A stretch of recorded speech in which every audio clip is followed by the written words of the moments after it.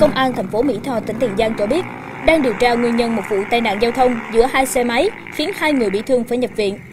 Theo thông tin ban đầu, vào khoảng 20 giờ ngày 3 tháng 3, Nguyễn Tấn Tài, 23 tuổi, ngụ xã Đăng Hưng Phước, huyện Chợ Gạo, tỉnh Tiền Giang, cùng một nhóm bạn hơn 10 người tụ tập ở khu vực quảng trường thuộc xã Đạo Thạnh, thành phố Mỹ Tho để biểu diễn việc đua kéo xe.